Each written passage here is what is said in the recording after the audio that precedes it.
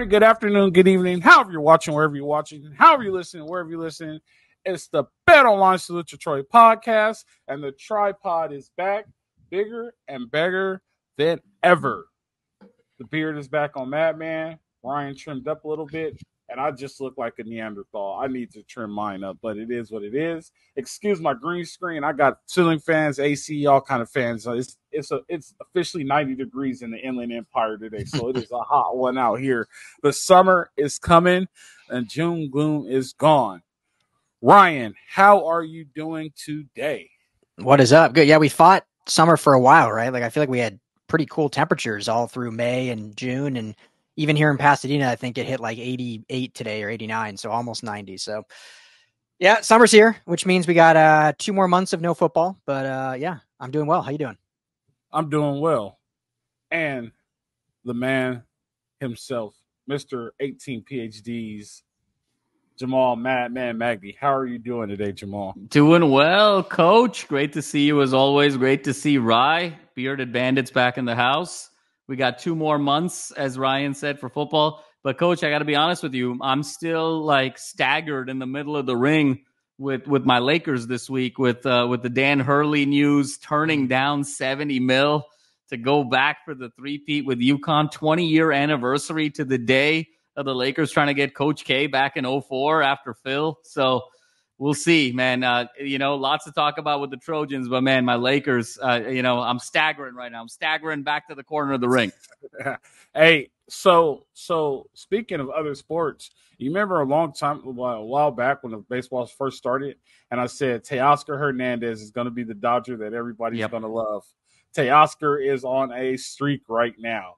He is. Teoscar is killing it. So everything is I, I actually Colin Cowherd actually made a good point, believe it or not. Colin yep. we, we have our own Colin Cowherd, which is hot take Tad, but Colin Cowherd made a good point. He said, Are the Lakers willing to rebuild while all the other sports in LA are hot? Mm. I was like, that's probably the best thing he's ever said. Like, are they willing to rebuild while the other sports are hot? And so that's a question you have to ask. Do you, do you think before we move on more because I've seen this going around now. Like, do you think the Lakers are like kind of a strapped cast organization now? Like, not with all these rich billionaires buying teams. I mean, the Lakers, it's family money, right? Yeah.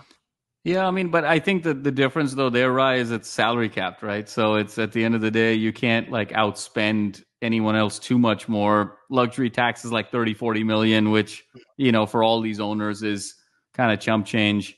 I think it's um, you know it's interesting. I, I just think the Lakers need new ownership. You know, to that point, I think I think Whoa. I love Jeannie and you know love that she was Dr. Buss's daughter and all of that, but Jeannie definitely runs the Lakers like a mom and pop shop, and you know she trusts like four people on earth. And all four of those people at one point or another have either been the Lakers president and GM or their most trusted advisor. And I think she just got to either really retool as a leader and really open up the aperture and bring in more more thought leadership or she's got to look to sell the team at some point. But you know the lakers will always be la i think mm-hmm. they'll never have a hard time getting stars here but you need that you need that management for sure. So here's a fun question. Sorry to cut you off again al but obviously there's a few but can you guys name and i don't know the answer but can we can you can we name five organizations that have been family owned that the kids actually did just as good a job as the the parents. I mean, you could probably no. name one or two. It's just like historically they never do well when it passes down to the kids ever. I can only name one. Yankees? Yankees. I can only name one, the Steelers. Yeah. Steelers. That's probably the best. Well, them and Yankees are yeah. yeah. Trying to think of others, but Bronc, yeah. I mean, Charger, yeah, not many. It's true though, right? Right. I mean, it's it's yeah. never going to be the same when it's a visionary parent. When it's that the the the person that built the empire has to go through so much. There's such a there's such an education there. There's such a hustle there. There's such a drive, a desperation, a vision. The kids will never have that, right? When you when you've grown up with a silver spoon and everything that comes with it, it's just very difficult to be able to recreate that. So yeah, I'm totally with you, and we'll see. I mean, it's it's also interesting that a lot of these billionaires now, you know, you're you're seeing a new wave of ownership too, particularly in the NBA. And I think it's going to be fascinating to see like the Clippers, for instance. I mean, they've you know, Ballmer's put a ton of money. The Intuit Dome, I think, is going to be a great place to go.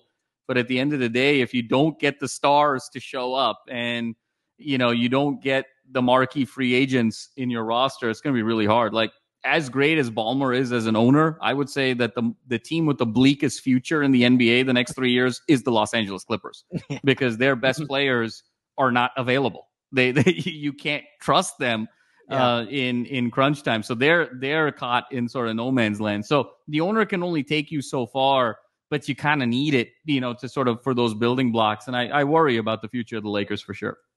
I, which is weird to me. And before we mo- go to the football stuff, which is weird to me because Jeannie was there the whole time when Dr. Buss built this thing. Like, yeah, but she was never here- there on the basketball side. It was all the business side. It was all about, hey, how Um, do we go get the partnerships and the sponsorships and how do we go operationalize like the Laker girl brand and how do we close that deal with UCLA Health and how do you know there was all of this other stuff. It was the business side. You know, I think the biggest mistake still to this day that the Lakers made organizationally hard for a team that's won 17 championships, but I think letting Jerry West go. And Yeah. I think that that was the mm, biggest R.I.P.. mistake that the Lakers have made in their franchise history. And I think that opportunity to even, they should have never let him go to Memphis. Number one, he, he did a great job. But when, even if they let him go to Memphis after Phil, because there was that struggle, that power struggle with Phil Jackson, and he felt it and he, he, he left. And it's, it's fitting. I'm saying this without even realizing that the great Jerry West passed away today. The logo, the legend, one of the truly great, not just players in the history of the NBA, but I would say the Mount Rushmore of figures in the NBA. Not just the fact that he was the logo, all time great player, unbelievable coach, unbelievable GM, unbelievable advisor. I think Jerry West, Pat Riley, Phil Jackson, Red Auerbach are probably the Mount Rushmore of figures in the history of basketball. Going to be unbelievably missed, uh, both in Los Angeles, but just in the game. But they should have brought Jerry West back the moment he left Memphis, and he should have been running this team since 2011, 2012. I promise you, there'd probably be at 20 banners by now if Jerry West was running the team. Yeah. Was that was that that that was Jim Buss. Jim That Bus? Jim who caused- Jim Buss caused all yeah, that. Yeah. the same Yeah. Jim Buss that overpaid for Luol Deng and Timofey Mozgov, and you know that Jim Buss, you know, yeah. who probably is. It would be hard for him to get a table at Polo Lounge these days because given what he's done to the Lakers. So Yeah. Definitely. Uh, yep. All right, off of LA sports and on the football. I was about to say and on the basketball. SC basketball. SC's basketball. They have no roster, and yeah, do now. so- Yeah, all their commits now. The must Okay. bus, baby. I was joking with somebody the other day. In three years, they're either going to the Sweet 16 or back on probation. That's how we roll with the Muss bus. It's one of two outcomes. There's no There option C. There we go. So speaking of recruits, actually, we had another big recruiting weekend. Uh, our, I guess we could say our top commit, Julian Lewis, came in. Uh, Dorian Brew, Riley Pettijon, Andrew Marsh, Malachi Autry, Noah Malkalai, Dylan McHale. McCutcheon, huh? McHale, I think. I don't something like that. Yeah, McHale. Yeah, Dylan McCutcheon, Hayden Lowe. Out of all Nin- that, 19 total. 19 total. That's not 19 on here, but yeah. I told you that pre-show. I'm like, there's a list. I know, that's I know. 19. you threw me off guard. You threw me off guard when you said the 19. But uh yeah, 19 total. These are just some of the top ones that came in. And we got a commit out of it. We got Hayden Lowe out of Charter Oak High School, defensive end, six, either six two and we'll say six two and a half to six three, between 230 and 245. We'll put it like that because we got all kind of sizes and weights, which is good. There's two positives in this, right? The two positives is he's a four-star athlete, which is better for recruiting because they're starting to re- recruit upper tier stars. He's a big defensive end. There's three, excuse me. There's three. He's a big defensive end that's going to gain weight. Say he comes in at 240 by the time he goes through his first summer lift program, he'll gain, he could get to the 260 weight by the time he gets, starts to gain his grown man weight. Here's the third thing: he's a Southern California kid. his hometown is considered LA, so he's probably doing that illegal stuff that Catholic schools are allowed to do in the CIF, get picked up and get all those extra benefits. So uh he's a Southern California kid. So which means that SC staff is dipping into Southern California again, starting to pique that interest. And the only way you do peak interest is by winning. Is this a good addition? 100%. This is great depth. This is the 2025 class, right? So they'll be, they graduate this upcoming, they'll graduate next summer and they'll be there two weeks later, like it normally goes, yeah. and start and uh start their career. So that's really good. A lot of DBs, a lot of receivers in. There are some linebackers that are good size, 6'2, 6'3s, 210, 220 pounds. So we're starting to see bigger kids being recruited than we have in the latter years. And we're starting to see good size and good athletic athleticism coming in and are interested in USC. My one worry about these visits are there's no longer only five minutes, it's five visits, it's unlimited visits. You start to ask the question how many kids are just taking a trip to LA in the summer? Because 19 is a lot at one. You can't give a lot of one on one attention. I am not a fan of it, but this is their program. This is how they're doing. I'm on watch and see mode, but we did get a recruit out of it. And I will say this, and Jamal, this is a question for another day. Write this down so we can remember it. What if, no, hear me out. This is a really good question. What if NIL starts to get, starts to become a different, you start to phase NIL, right? So you could be a part of the recruiting aspect of it, or you could be a part of the play, the pay for play aspect. I think the ROI is better on the recruiting because if you put a lot of money in and you start to see recruits come in, you can see it work. The pay for play ROI is a little bit different. So that's something I think is worth talking about another day. I thought about that today while I was driving in traffic. Hayden Lowe's coming in, big recruiting visit. Ryan, what do you think? Yeah, good get. Uh, I mean, I know, Coach, you got to love the size that they're recruiting and and the size of this kid, as you mentioned, six three ish to thirty ish in that range. Obviously, will be bigger when he comes in. I think the interesting with him is he th- this very weekend, June seventh, had a, a scheduled visit for Oregon. He canceled that visit to come to SC and committed on the spot at SC. So I think that shows that not only did he buy into what you know Coach Henny, Coach Nua, Coach Riley were all were all selling, but he wants to stay home, wants to be in LA, wants to be a USC Trojan. So I mean, those are all good things without actually talking to him. That's just assumption, but um, yeah, I mean, so it's a great get, another great weekend. It's I'm sure you guys have seen this. It's reported's not the right word, but indications are there's there were two more commits over yeah. the weekend based mm-hmm. on um some Nico breadcrumbs from Twitter. Well, not just Nico, like Lincoln Riley and the USC yeah. Trojan USC football account, um, plus other coaches. So, you know, I, have been digging there. There's yeah, there's for sure. I think two more that will come out. Um, they haven't fully announced yet. One, if I were guessing, I, I want to say is is the um receiver. He's going to officially announce the end of this month. USC's in his final three. Um, but he had a really good visit, spoke highly. So part of me, this is just me guessing. I'm just thinking that he's committed, but he's going to wait to do his announcement in front of his family and stuff, and then announce it. So, um, but I, and then the other one I think is uh, a kid out of uh, he's Canadian, but out of Miami. I, I should have these names in front of me. Um, but he's another one that I think will be the, the second one, and there could be more. So overall, just a, a, fantastic weekend. I think if you can get three commits out of it, um, you know, obviously that's a that's a huge win for USC. Put a pin in that, Ryan. Let's save that. The two commits I want to commit later because I have a comment on that. When I saw that this weekend, I instantly had a comment on that, and I'll, I'll tell you why I don't like it, and it, has a lot to do with why the Lakers did were unable to get the coach that came this weekend. Jamal, what do you think about the recruit the weekend and the, the big commitment?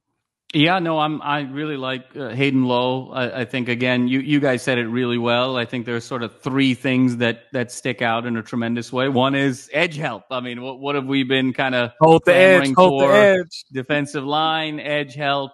So that's number one. Number two, you guys mentioned it. The SoCal. I mean, Oaks Christian is a, is a power from you know he's from Westlake Village again, kind of trying to reestablish some of that pipeline.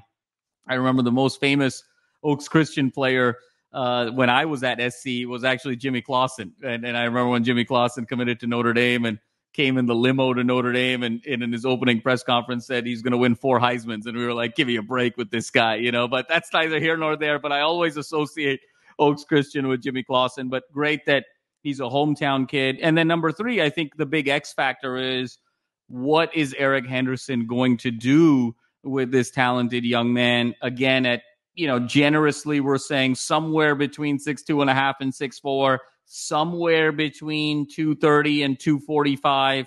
So there's some some weight that needs to be had here, particularly in the trenches of the Big Ten. So what the weight room is going to look like, the diet, the regiment, the conditioning. So this is sort of the Michelangelo that is Eric Henderson. He's got his beautiful, you know, block of marble here. Now, can he turn it into the statue of David here? Is is really the question uh, from that front. And then I think the the visits were tremendous. I mean, another big day uh, for SC. 19 visits, like you talked about. Coach, you may be alluding to this, you may not be. I think we're also sort of entering a world where recruiting practices recruiting behaviors, recruiting rituals are going to start changing. And I kind of equate it to speed dating. I, I look at some of these visits as kind of speed dating. And, and speed dating, ironically enough, is coming back, you know, because the Gen Zers don't want to go on dating apps. Again, I digress. But you know, in in the, the the sort of the speed dating world, I think you're bringing in 19 and you're trying to sort of see, hey, we have some preconceived notions of some guys that we really want. Um, who's showing interest? who's sort of a leader amongst their peers, who's asking the right questions, who feels like a cultural fit, who who sort of is the the raw athlete that we believe that they are in person. And sometimes you use these visits of saying, "Hey, we walk away from the 19, but out of that 19, we really like five or six, and maybe two or three of them commit, and then we get to focus on the other two or three that have not committed." And then also in parallel say, hey, the two or three that have, let's make sure that we retain them. So I think in this new world of recruiting, coach, to your point, where it's unlimited visits, you got to filter out the guys that are just here for the LA trip, like you talked about, and try and get to that place of interested party as quickly as possible. And I think usually the goal with bringing in 19 players is say, who's that five or six? Who's that top third that we can sort of move forward with, much in the way you kind of approach speed dating. So I'll, I'll leave it there. Yeah. So so the mistake that the Lakers made this past weekend is they let Dan Hurley go home and they did not tell let they did not make him tell them no to their face, right? If I'm the Lakers, I'm telling them I'm keeping Dan Hurley here till Tuesday. He would have got on a plane on yesterday and he would have had to tell me no to my face. The DeAndre the Jordan, making, the DeAndre Jordan to the Dallas Mavericks move. You remember that from, you know, eight, ten years ago where they Cuban wouldn't let him leave. Yep, he kept him there and had to tell him no to his face. Yeah, I remember that. So, the, and the reason why I say that, like Malik Archery, he's committed to Auburn. Why are you still going on trips if you're committed to Auburn? Do commitments not mean anything anymore? Or, or I would say this: when we were coming up, we were always told if you have multiple offers and you don't know where you're going to go yet, at least commit to one so you have something locked up because it schools don't have to honor commitments, but it looks bad on the school if they go away from the commitment, right? So, like, I was committed to you. How are you going to take away my scholarship? So, are they locking up offers just to have offers and then still shopping around? Maybe. I don't know. But neither neither here nor there. What the point I'm alluding to is they're saying there's two more offers that are coming out, and they're just going to announce it at the end of the at the end of the month. They're going to announce it here, announce it there. Me personally, I do not like that. Personal experience, I've been burned that way. Coach, I'm committed to you. Don't worry. I just want to take this one more visit. Nah, you don't need to go on a visit. You know what I mean? Yeah, yeah, yeah. Next thing you know, hey, coach, I'm not going to commit here. I'm end up going there. That is my biggest worry, right? And that's PTSD. Being in that situation, knowing that when you when you're still looking for a prom date, even though you told a girl you're going to take her to the prom, and the prettier girl comes along, that previous prom date no longer matters. you know what I'm saying? So that's what worries me about that. And that kind of like, hey, like, why are we waiting? Why can't we get the commitment out now? Some may say it's too much pressure on them and things like that. But at the end of the day, it's business. And we need to get this business closed. Like, you're learning to become a man. Here's the first step of becoming a man. This is the first official sign, contract you're going to sign is a national letter of intent. Let's commit let's say you're coming here. There's nothing else to do about this. So that's how I feel about the two commitments coming at the end of the month. If they come, they come. But I'm not comfortable with it, and I will never be comfortable with it. Ryan, you got anything on that, or you're good with it? Yeah, no, I mean, uh, well, and just real quick, just so I make sure I get the names right. So the two I was talking about are receiver Corey Sims. Adam is, mm-hmm. uh, yeah, Corey Sims, and then uh, Floyd Boucard is the um, defensive tackle. So those are the two names. But, but no, I mean, I, I get it, I agree, but I mean, unfortunately, that's just the way college football is now. I mean, I, I don't remember I could be wrong. I'm trying to think back, but I mean, I just don't remember commitments even happening this early, like before signing day. I mean, you have kids from 26 and 27 committing all of a yeah. sudden um, that far down the line. So it's just kind of the way it is now. Is kids commit, but they still keep their recruitment open and go on visits. And you know, as a university, if you're gonna, you can try to play hard nose, or you, it, you know, and maybe it works, or maybe you just continue to get burned because kids are like, oh, I don't have the freedom to to search around and see what's best for me, and they only care about me playing here and not what's best for me. So I I, I totally get it. I agree, but that's kind of just the way college football is now. So, but hopefully the two that the two that everyone's saying are going to commit, we we actually get officially two more. Madman, what are your thoughts? No, I, I agree with you, Coach. It's it's a new world out there. There's no question, and I think as Ryan said it best, it's it's the world we have to adapt to. I also think again, it's sort of the song and dance that you have to play. I, I don't think you can realistically walk away from a, a visit like the, this past weekend and say we got our top one, two, three guys. You just got to think about it. Even in terms of class of 2025, these kids haven't yet quite finished junior year or just about finished junior year. They got their summer between junior and senior year and then a whole nother academic and football season. I mean, the amount of life that happens, particularly at that age, in mm-hmm. terms mm-hmm. of exposure over the summer, or they, you know, uh, get a new girlfriend or, you know, something with their family pulls them in a different direction or they sort of blow up their senior year and then they get attention from schools that maybe they secretly wanted, but they didn't. There's just so much variability from now until them actually putting on a Trojan uniform that again, you, you have to sort of do the song and dance. You have to show your presence. You have to keep selling yourself. But I think it, it sort of becomes the Wall Street line, right? Where it's like always be closing, you know, and you're yeah. just sort of in that mindset where you just don't take any recruit for granted. And even if they come and say, I've committed now, you're not you're not like chiseling that in stone. You're like, well, we got to keep it uh, you know, retained and, and keep it that way. So you're just always, I think, in salesman mode uh, moving forward. And I think that's just the new reality that we're in. ABC, Jamal hit him with the ABC. Always, Always be, closing. closing. Those of you listening on the Mightier 1090, thank you for listening. See you guys. This is Bet Online Salute Joy podcast. So, um, there's another storyline that came out this weekend, and we're going to go ahead and try Jew, Jew, Lou is.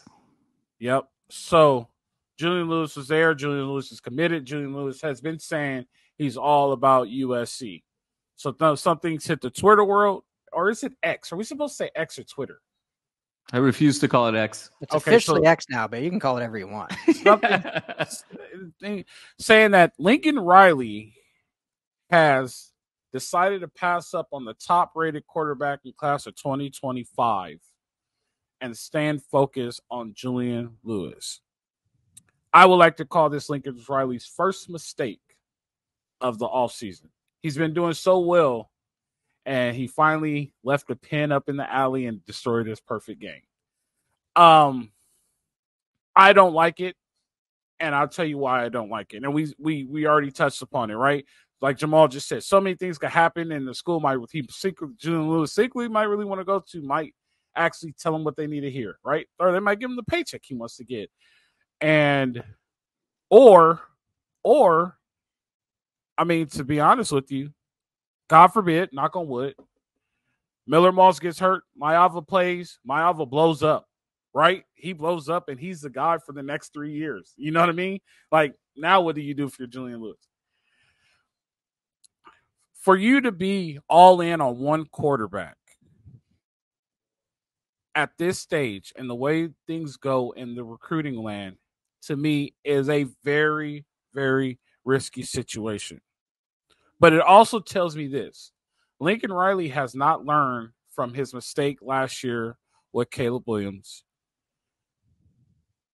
He's not creating any type of competition, right? And he's saying, oh, well, there's no starting quarterback and the, there's a competition between Moss and Maiava.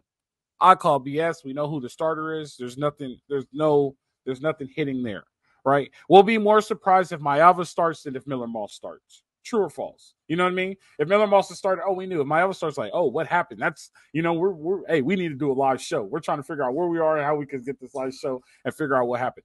But for you to be all in on Julian Lewis right now, and him, he could balk that commitment at any moment, at any day, any time. He's not inked in. Also, you need to create some type of quarterback depth, and there's no quarterback depth at USC of valuable players to me, it kind of shows that there is no environment of competition within the football program, and that scares me. And that means that they are not moving forward philosophically in this program. I could be wrong. This is just my opinion. But for you to for you to pass up a quarterback that wants to come to your school, I don't know if he wants to come come here or if he just said no. I don't know how it all played out, but this is how it came out that he's good on this guy and he's all in on Julian Lewis, I don't like it. I don't like it at all. And it scares me because of the lack of competition that is being created. That's where I stand on it. Jamal, what do you think?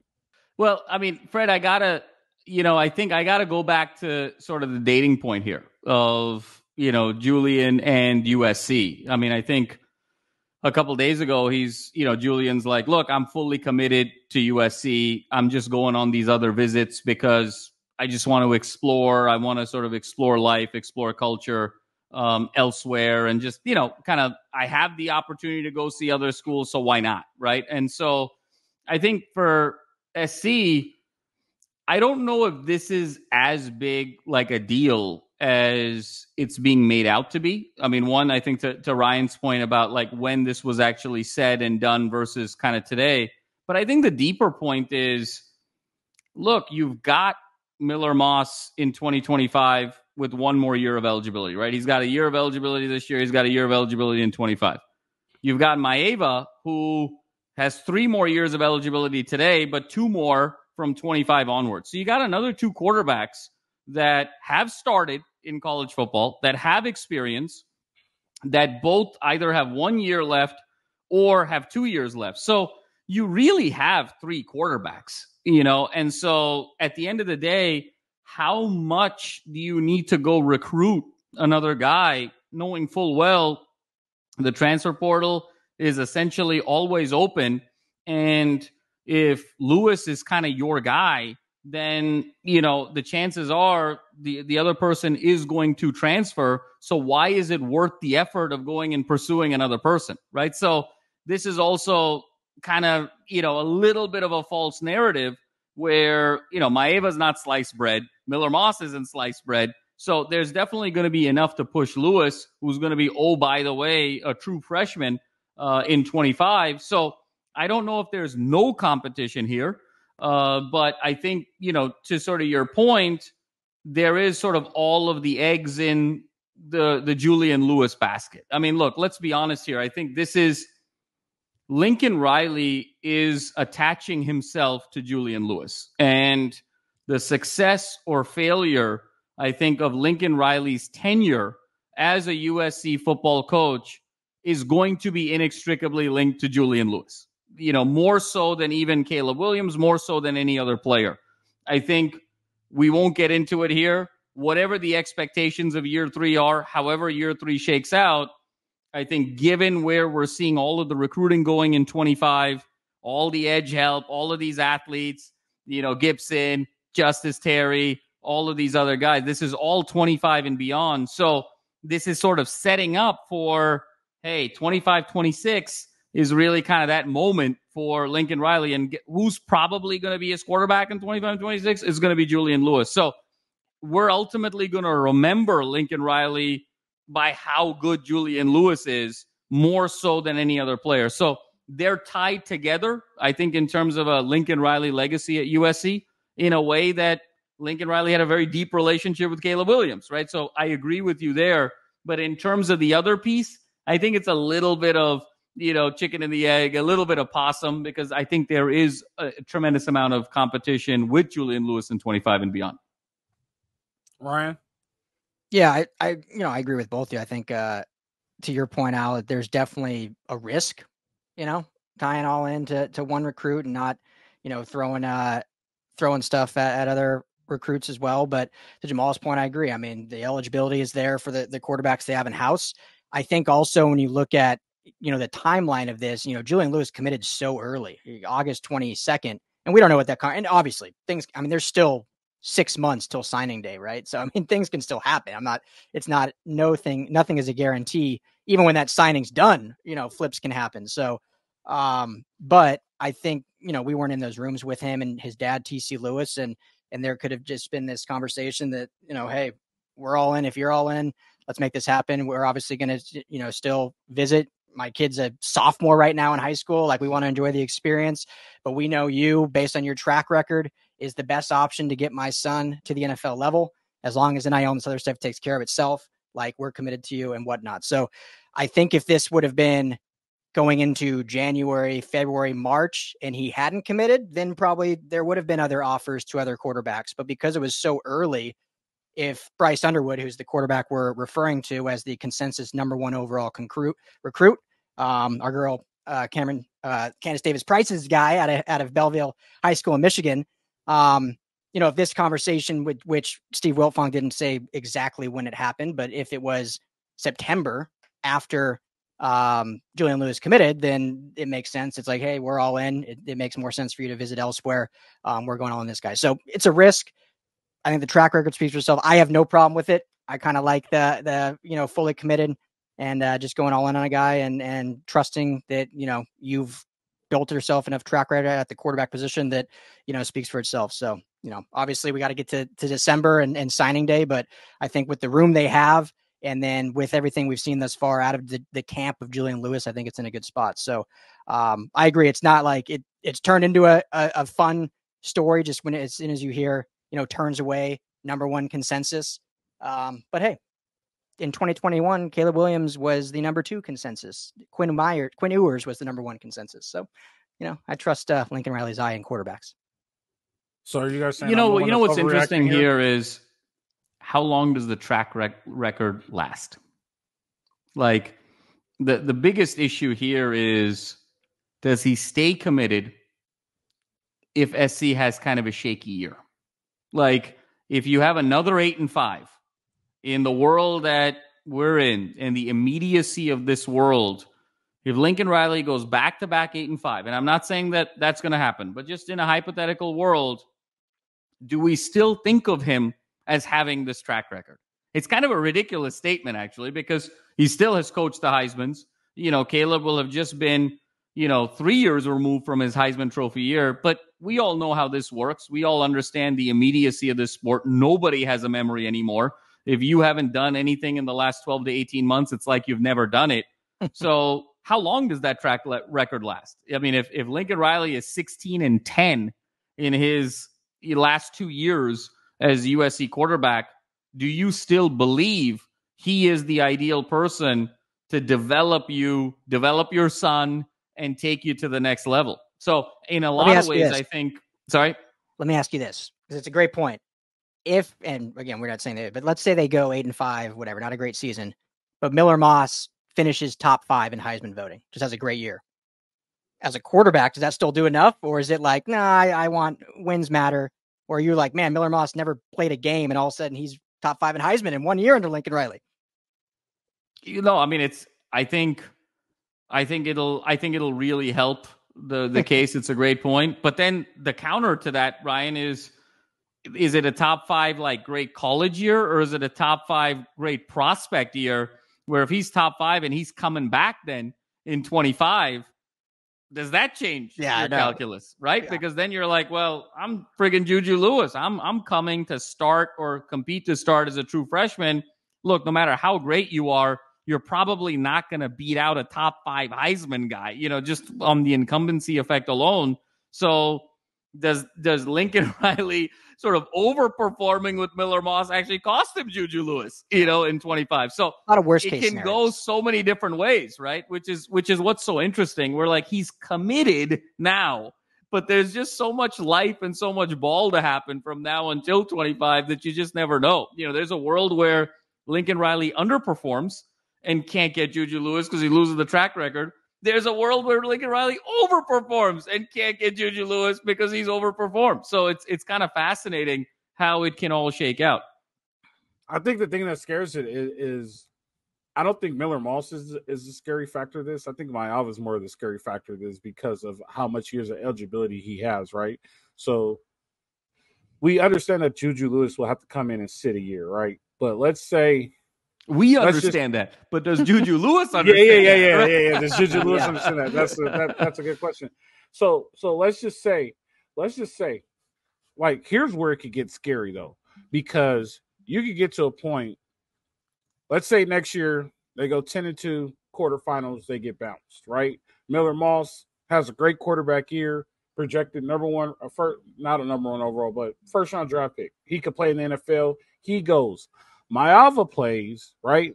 Now he's eligible for the draft, right? Because it's second, yeah, he's eligible for the draft and 25. Juju Lewis sits behind him. They go undefeated and they lose in the national championship. And I understand this is hypothetical. As Lincoln Riley, do you talk to Maiava and tell him, hey, let's come back for another year and let's try to run it back and get what we missed out on? Or do you let him go and say, we have Juju Lewis. He's the guy that could get us over the hill. And that falls under what you could fault when what you said, Jamal. I can either help you or hurt you. What do you do as Lincoln Riley in that case and point then now? Now you're in a situation where Juju Lewis is like, all right, I'm gone. I could go, I'm gonna go into the portal. I'm not gonna play here for another year. I'm gonna go somewhere else. Now you're short a quarterback. So maybe I'm saying maybe you don't need the number one quarterback, but maybe you need the number 25 quarterback. Maybe you need the number 30 quarterback. Maybe you get lucky and get the number 15 quarterback. But you need another quarterback because the depth truly isn't there. Like the year where SC went through all three of the quarterbacks. They were all good. Three, all three of those quarterbacks were good. All three of those quarterbacks have very high. Well, one of them had a low ceiling, but you know what I mean? One of them is in the NFL starting on the Vikings right now, right? So it's like it, it, those things can't happen. And like I just maybe it's the thing like I play worst case scenario first, and how do we get through the worst case scenario? Because if you do everything, the good takes care of itself. The bad never takes care of itself. So how do we get through the bad? And that's my worry that I have with the bad because even though he does come, he still has the ability any time to leave. So what do you do if he leaves, and how do you protect yourself if he leaves? We're gonna go flood the portal. When are we gonna get out of that game? Right? And it looks like they're trying to get out of that game, but they're not putting themselves in a, a situation where they have to rely on the portal to get out of that game. You guys get what I'm saying from there? Ryan yeah. Jamal. Yeah, yeah. I mean, and that's the good and the bad of the portals. It works with you and it works against you. So, right. I mean, if you were to hit it, they would be able to go and get someone in it. But I think gone are the days, and I know you're just saying offer, not necessarily bringing a recruit, but gone are the days of just three years ago when USC brought in Jackson Dart and Miller Moss in the same recruiting class, like two five star right. quarterbacks. Like right. those days are gone. That's not happening anymore ever again. You're those days are gone, ladies and gentlemen. Yeah. You heard it from Rye so, or Die. They're gone. Okay. you have to, in my opinion, pick your who you want and go all in on him. So that that's yeah. me no, it's a great point, Ryan. Uh, you know, and, and, coach, I agree with you in, in, in terms of what you were saying. Nothing to add there. I'll tell you, we're we're talking about this from a very Lincoln Riley centric lens of like, what does Lincoln Riley have to do to sort of maintain just you know fun hypotheticals? Rightfully so, he's earned that with the type of quarterbacks that he's gotten. But I'll pose you guys this: there's three guys I'm actually worried about. Where if it, as from a coaching perspective, if they blow up in in this year in 24 that it could be a concern. Number one, Brian Kelly. Can you imagine if Kelly goes back to back with Heisman winners at quarterback? You know, like if the LSU quarterback follows Jayden Daniels and wins the Heisman, now all of a sudden Brian Kelly is the quarterback whisperer that everybody's sort of talking about. Almost usurps Lincoln Riley in a way. I would be worried about Juju considering he's already from the South. And then the other two guys, I got to be honest with you, like if Ole Miss and Jackson Dart kind of blow up, or Ewers and Texas blow up, Kiffin and Sark scare me here. Because if they sort of blow up with these programs, given the NIL funding that those two schools have, and you factor in that both of those guys are XSC guys, they understand West Coast football too, and now are doing it kind of in the South, uh, you know, the, the, the SEC South and, and the Texas South.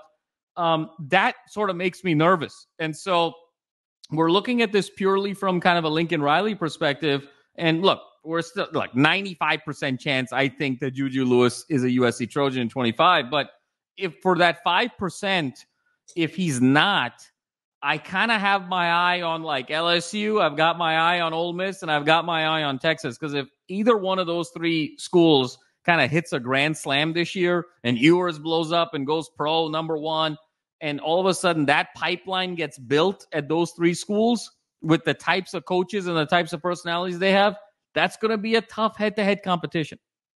I think the I think the only difference is Jamal and, and Caleb Williams. Caleb Williams might be an anomaly, but the difference is that Ewers is going to be good wherever he goes. Same thing with Caleb. I think Caleb is good wherever he goes. Look, this is Sark's first good quarterback in his tenure. You know, I should say good. I'm sorry. First elite quarterback in his tenure. You sure. know what I'm saying? Yeah, like. Of, being a head coach, this is like his first elite yeah. quarterback. So that one doesn't really scare me. The thing that scared the Brian Kelly thing is Brian Kelly's kind of a crybaby. And when he starts to not get his way, he kind of wants to bounce and go somewhere else. So, like, that's kind of well, that would be a recruiting attack that I would use. Like, if he gets mad at the administration, he's gone the next year. He could get a job anywhere. And I don't see him being competitive anytime soon if he was tr- if he's true to his word about what he says about the portal. Like I don't need to go to the portal. I'll just recruit high school guys and develop them. All right, cool. You go ahead and do that with your true freshman and I got grown ass man who's played already in NCAA football. So that's the kind of I, I just don't see him being competitive. So I now Kiffin, Kiffin is putting out quarterbacks, right? Kiffin always has a quarterback. That that one is kind of a threat. He's a quarterback guy, so that does make sense. That's a threat. But I the jury's still out on Sark, and I'm not too sold on Brian Kelly and with just his whole strategy behind the thing. So that's just and, my rebuttal to that. And the only thing I'll add to that is um I, Ole Miss is a really interesting one. they haven't really been I'm sure they offered Lewis. I haven't even looked, but they haven't really been on him. But the only other thing I'll add, I think you guys hit all the points. But the uh, the only difference is Texas, as of now, has a four star 2025 commit. LSU has obviously Bryce Underwood, who's the same class as their commit. Ole Miss has no quarterbacks on their 2025 list, so they would definitely be the one that I would mm-hmm. be a nervous for. Kiffin obviously has NFL ties and he's a fun coach. He, you know, is social media savvy. Ole Miss has a ton of money, as we know. They they're they're big in the transfer portal, so um, we're not saying anything that they they haven't really been involved in any of this. But if there's one late late bloomer, that's a great call. Jamal Ole Miss is an interesting one. Yeah, and Texas has Lamborghinis on their visit that no player gets. So I don't know why that was then either. Did you guys see that? Yeah. I don't understand the point behind that. That wouldn't even be. I don't know. Maybe if I was eight, but I'm like, do we get this? No. Why are they here? That would have been my we, question. we didn't actually. We were going to talk about it like last show, but I think we ran out of time. But just that falls under like the the cheesiness of some of these recruits. Like some of these programs just do some cheesy things, man. Like th- there was one. uh I saw a recruiting video which USC did got a lot of praise again for their recruiting videos. I think it was Missouri. Like their head mm. coach was like playing like guitar. It's just it's just like it's uh, Missouri, man. You know, they got yeah, you know it's Missouri. Uh, places like, you know, I, I can't even really like criticize too hard because some of these places, as my dad would say, it's like, you know, you're bringing a sword to a gunfight. You yeah. know, I mean, it's like when, you, yeah. when you're sort of competing with with the likes of a Los Angeles and a Hollywood. So it's uh, certainly winning, no question. I mean, I think SC's done a phenomenal job of leaning into the media savviness when it comes to these videos and, and recruiting visits. So all fun stuff. Definitely. Coach, well, we're going to grab that snippet of yours after August 31st. And, and, you know, when you talked about, well, LSU can't win and they don't have grown men and, you know, so you're going to look like Nostradamus the morning of September 1st or, or the morning of September 2nd, I should say. Or maybe, you know, there's a different conversation to be had, you know? it, it's like well, all coaching decisions. You can either be a genius or you can be an absolutely, idiot. So I'm going to be one absolutely. of the other. So we'll definitely see. So good deal. We're going to talk about LSU and USC later down the line. We're going to talk about projections later down the line. We got a bunch of good stuff coming but you still have to hold on. We're not quite there yet. It's like October 31st. You're like, all right, there's Thanksgiving and Christmas, Thanksgiving and Christmas as a kid. So we're almost getting there. It's right around the corner. It's football's almost there. We're excited to do it. We're good to get into some USC football. But until then, hold tight. And we appreciate you guys holding tight with us. Ryan Jamal, we put another one in the books. It's been another great time. I enjoy you guys. Until we do it again, you guys know how to go. It's the Bet Online Salute to Troy podcast. Live free, fight on.